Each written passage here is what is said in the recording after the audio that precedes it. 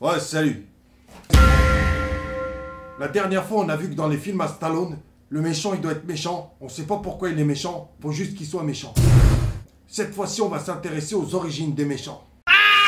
Alors, au début des années 1900, le cinéma, il était muet. Ça fait, en fait, le méchant, il pouvait pas parler, tu vois. Parce qu'en fait, quand il projetait les films, euh, il y avait un pianiste qui jouait comme ça, tu vois. T'imagines si Terminator, il serait sorti à l'époque?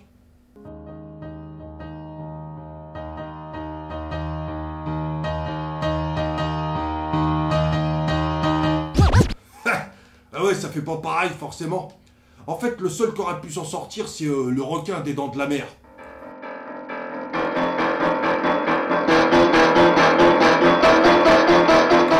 Bon, et puis à partir de 1927, euh, le cinéma, il devient parlant. Alors là, les méchants, ça devient euh, les Indiens.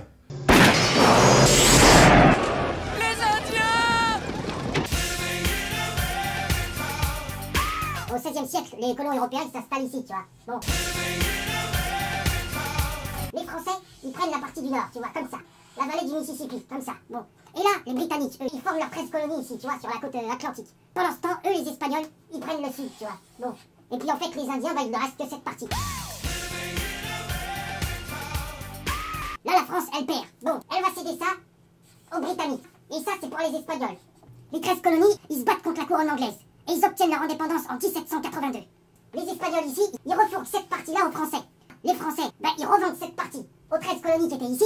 Et du coup, les États-Unis s'est formé de cette partie, plus ça. Donc qu'est-ce qu'ils vont faire là? Ils vont partir à la conquête de l'Ouest.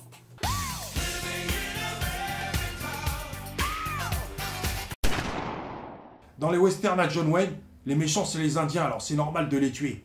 On va voir un exemple avec le film Premier Rebelle de 1939. J'ai tué 30 Onondaga en une journée. Ah Pour moi, un Indien conciliant est un Indien mort. Euh, là, John Wayne et ses copains, ils attaquent les Indiens. Mac, tu prends la rive droite, moi je m'occupe de la gauche. Il me le faut vivre. Ah, Jim, si je fais pas mes 20 Indiens dans la journée, je respecte pas mon minimum. Ne me laisse pas à 19. De quoi je vais avoir l'air, moi, Eh, après les Indiens, ça se voyait quand même que c'était pas des vrais Indiens. Regarde ça. En 1939, il y a le film euh, La chevauchée fantastique qui sort. Alors là, les Indiens, ils attaquent. On sait pas pourquoi. Du coup, John Wayne, qu'est-ce qu'il fait? Il les tue tous. Eh, il s'est cru à la fête foraine. Après, il gagne un ours en plus. Ensuite, en 1948, il y a le film euh, Fort Apache qui sort. Pareil, les Indiens, ils attaquent. On sait pas pourquoi. En 1956, il y a le film La prisonnière du désert qui sort. Alors là, John Wayne, il atteint le top du top. Parce que dans ce film, en fait, les Indiens, ils attaquent, on sait pas pourquoi. Pareil. Bon, sauf que c'est con, ils attaquent la famille du frère à John Wayne. Et en plus, ils les tuent tous. Enfin, sauf euh, la petite fille, parce que là, ils enlèvent la petite fille. Du coup, John Wayne, il part à la recherche de la petite fille. Hey, il trouve une tombe d'Indien. Alors lui, il tire dans les yeux comme ça. Pourquoi ne pas finir ce travail pendant que tu y es?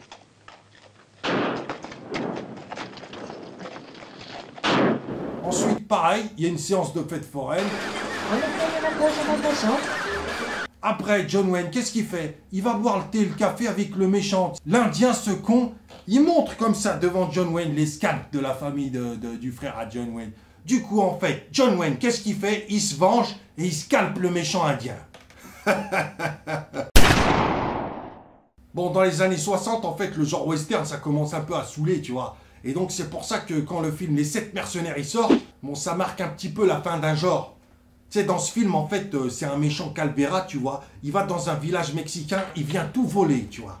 Qu'est-ce qu'ils font, les fermiers? Ils vont aller chercher euh, sept mercenaires. Je cherche six hommes sûrs pour défendre un village au sud de la frontière. Nous offrons 20 dollars. Euh, dans ce film, c'est la première fois que les cow-boys, ils cherchent à se poser. Et qu'ils en ont marre de mener la vie qu'ils mènent. Vous me croyez brave parce que j'ai un revolver. Eh bien, vos pères sont plus braves parce qu'ils ont des responsabilités. Pour vous, vos frères, vos sœurs et vos mères. En plus, dans ce film, si tu veux, les cow-boys, ils sont aussi philosophes. Hein, Steve McQueen? Ça me rappelle ce bonhomme qui, chez moi, dégringolait du dixième étage. Oui, quel rapport? Comme il passait devant chaque étage, les gens pouvaient l'entendre répéter Jusqu'ici, ça va. Jusqu'ici, ça va.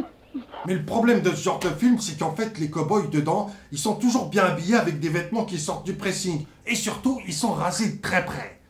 Celui qui va révolutionner le genre, c'est Sergio Leone. Parce que dans les films à Sergio Leone, les cow-boys, ils sentent des pieds de la moustache.